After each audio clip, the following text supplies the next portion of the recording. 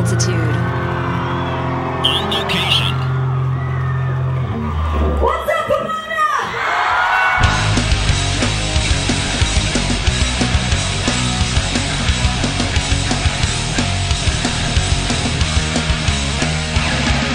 What's happening, everybody? And welcome to the opening day of the Vans Warped Tour 2007. I'm Possum, your festival guide, and I'm here to steer you in the right direction on what you need to bring, what you need to do, and who you need to see.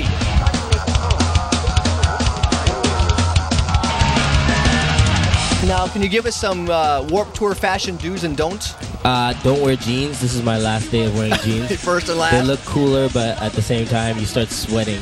And uh, I'm trying to figure out which type of underwear works best with the jeans, but I haven't figured it out yet. so- Okay, well, we'll all be staying tuned for that one. do wear sunscreen everywhere. Mm-hmm. Um, you'll burn, and as you can see, I get really tan in the summer. Yeah. Don't wear jeans and black. Don't wear clothes. Naked. Yeah, I learned that today. I'll be naked for the rest of the tour. If you're a chick, don't cake on the makeup because it drips and you look like by the end of the day.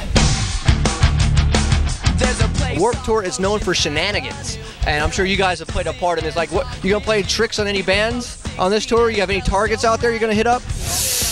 I don't know. You know, we, we always talk about it, but I think we tried to stay out of that mix because Yeah. I think we might be some of those people that can dish it, but if it gets done to us, we might flip out a little too much. You can't take it. First thing I, I thought when I saw that bl- inflatable castle over there, Uh-huh. I was like, how can I deflate that, get it in somebody's bus, and then reinflate? That would be sweet, dude. That would be amazing. Poop in your hand, smeared on the door handle. That's good. That's good. I think we should take out the almost too. Yeah, we should. Probably get Now, them. I don't want to be spilling the beans, but I just talked to the almost a little while ago, and your name did come up.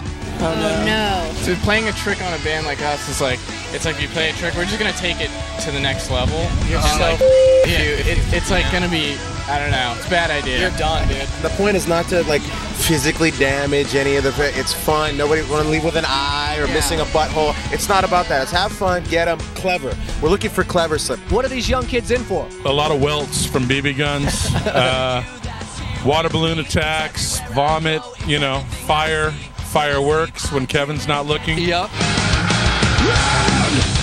You guys have any plans to suck up to Kevin Lyman to get better time slots each day?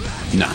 None, None whatsoever. Nah, it's all good. No, dude, we're like monkeys. Like, you just basically go, hey, you guys, you play over there at this time. We'll be like, okay, sweet. Maybe we might bring him breakfast every morning or something in bed. That would and his, work. and his boss be like, hey, Breakfast we and brought bus. you this, you know, not trying to be a brown noser. What band do you want to see? I like all the almost. I think the almost is gonna do really well this year.